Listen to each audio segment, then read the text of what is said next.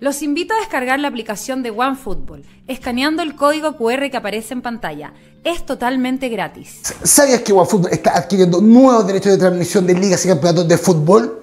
Sí, ahora OneFootball tiene los derechos de ligas internacionales para ver los mejores partidos en vivo, en directo y en HD 100% gratis como la Copa de Brasil. Además podrás acceder 24/7 a noticias, fichajes, traspasos jugadores, estadísticas, resultados y lo mejor que es el tiempo real. Puedes seguir a tus equipos favoritos, selecciones favoritas, competiciones favoritas. Aquí la cancha con bombarete recomiendo 100%. Descárgala, te dejo el link en la descripción.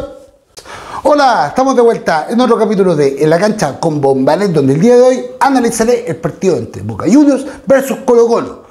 Boca Juniors 2, Colo Colo 0, con goles de González a los 10, después a los 80 Ceballos, gol de tiro libre.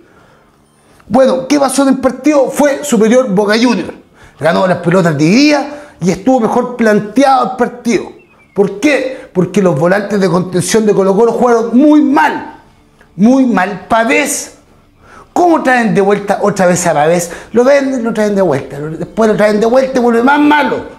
Después se va de Colo Colo, vuelve otra vez más malo todavía. Si el Colorado Gil es mejor que Pavés. Anduvo dando jugo todo el partido. De hecho, el primer gol responsable él. ¿Por qué? Porque Falcón falla en la salida, un pase muy comprometido a Solari. Pulpo González recupera, advíncula, la cruza se la da a Villa. Villa es puntero izquierdo, tenía que marcarlo o paso, salir. Se fue a marcar a Villa. Entonces dejó todo, la mitad de cancha vacía. Y Pizarro cerró mucho y por atrás apareció Pulpo González otra vez. A los 10, ¡pum! A cobrar. Ya, mal parado Colo Colo. Vamos a partir por Boca Juniors. El arco Rossi. No tuvo trabajo. El gol anulado de Lucero que tiene buena movilidad, pero hay que darle más pase. Y la defensa de Boca Juniors sólida. Nada que decir. A Lucero se le puede sacar más rendimiento. Me gustó la definición el tiro libre de Gil, en el gol anulado que está lamentablemente, que ahí había mejorado Colo Colo, gracias que cambió a Solari de posición, porque Solari estaba jugando de puntero izquierdo y ahí estaba Advíncula. Advíncula, un jugadorazo, está pasando por un gran momento. Este seleccionado peruano, el mejor lateral derecho de Sudamérica, creo yo, actualmente. No se lo pasó ni una vez Solari, no se lo pasó ni una vez Costa, y después Cruz tampoco pudo. Fue el mejor del partido. Rossi no tuvo trabajo en el arco. Muy bien. Después izquierdos, muy bien. Manejando el perfil derecho y el perfil izquierdo. Buen central. Después Ávila. ¡Pa! Entraba con todo. Este central zurdo. Que entró una con volado inmediatamente, empezando el partido, ¡guau! Lo levantó y volado después andaba saltando y tuvo que salir. Y ahí mejoró Colo Colo. ¿Por qué? Porque salió volados, entró Gutiérrez entró de central. Entonces se quedó Opaso, Gutiérrez y Fuentes pasó a mitad de cancha, pero con Pavés y Colorado Gil más adelante. Pues Cortés en el arco, Opaso, lateral derecho, Gutiérrez, que entró por volado, y ahí mejoró Colo Colo, Falcón mal de central izquierdo, él anda bien de central derecho. De central izquierdo se ve mal, como Maripán por la selección chilena. Gary Medel, central izquierdo, Maripán, central derecho. O si no se cae, Maripán. Lo mismo le pasa a Falcón y quedó manifestado en un pase de Ávila, central izquierdo de Boca Juniors, que dejó solo a Orsini. Y le pasó por entre medio porque no se para bien. Ahí tiene que jugar Amor de central izquierdo y Falcón o Gutiérrez. Pero no Falcón de central izquierdo contra Boca Juniors. No se puede salir a inventar con jugadores que no están en su puesto, como Fuentes. Fuentes es volante de contención. Y no es un gran volante de contención.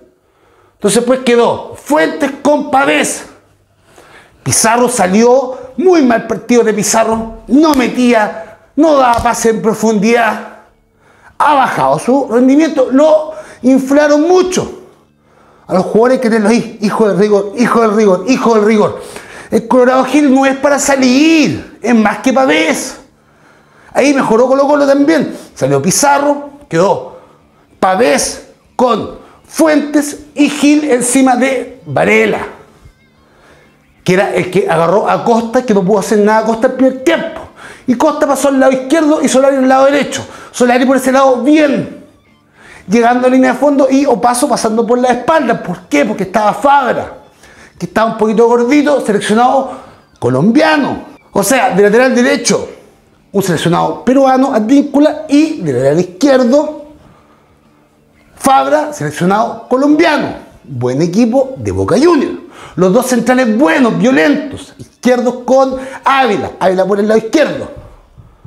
Ya, clarito, de línea de 4. Ana, junto a uno por bet. Acá podrás apostar por todas las ligas, tanto sudamericanas como europeas. Así como el día de hoy yo aposté. Aquí les dejo mi apuesta. Así podrán obtener ingresos usando su sabiduría futbolística. Pueden usar el código promocional BOMBA. Les dejo el link en la descripción. Pasando quedó Opaso, Gutiérrez, Falcón, Suazo, que hizo un túnel, fue de los mejorcitos de Colo Colo. Pero por ese lado estaba Salvio, que en una se llevó, ganó la espalda de Suazo y después se llevó a Falcón así. Y sacó un centro que falló fuerte y a Orsini se le fue solo. Mal Orsini. El centro delantero de Boca Juniors, este partido. Quedó fuerte con Pavés, Solari, Gil, Costa, que no pudo hacer nada con la víncula tampoco. Después salió Costa y entró Zavala. Zavala se fue para el lado derecho, que lo vimos poco. Solari salió y entró Cruz. Cruz se fue para el lado izquierdo, que no pudo hacer nada contra Vícula tampoco. El mejor del partido, lejos. Y en punta, Lucero, con buena movilidad, que me faltó verlo un poco más. Pero creo que se le puede sacar rendimiento a Lucero. Y Boca Juniors, como dije, a los cuatro del fondo, que no hubo cambio ahí. Advíncula muy bien, izquierdo, por el lado izquierdo, Ávila y Fabra. Después, Varela centralizado, que agarró bien a Costa el primer tiempo. Después, González, que hizo el gol, que subía, bajaba, subía, bajaba. Entonces los dos volantes tenían que marcar. Uno, a González, que era Pizarro, el que hizo el gol. González tenía que haberlo agarrado Pizarro, pero cerró mucho. Y Pavés tenía que estar encima de Ramírez. Y ahí bloqueaban a los mediocampistas de Boca Juniors, pero estaban metidos más atrás. Ya, después ellos jugaban, como dije, 4-3-3, con Varela, González, Ramírez y tres en punta. Villa por el lado izquierdo, Orsini y por el lado derecho Salvio, que le ganó a veces la espalda a Suazo. Que después vimos cambios como que salió Villa y entró Ceballos. Salió Orsini, entró Vázquez y quedó con dos en punta. Salió Salvio y entró Molinas. Molinas entró de volante de creación y quedó con un rombo. Batalla, quedó con Varela, entró Medina el segundo tiempo, Ramírez y Molinas de volante de creación, un rombo en el medio, clarito, Boca Juniors, y dos en punta. Salió Orsini, entró Vázquez y entró Ceballos, golazo de tiro libre. Nada que hacer, Brian Cortés, que entró por Villa, que Villa fue el que le dio el pase a el Pulpo González, que fue un golazo también. Un justo ganador Boca Juniors. Colocó lo mucho que mejorar. Nublado Quinteros. Estaba nublado este partido. Mala la formación que partió. A Pavel lo tiene que sacar del equipo. Si quiere hacer algo en Copa Libertadores. Eso. Ese ha sido el poder del día de hoy que se pide con mucho afecto a todos los suscriptores en la cancha con Bob Valer.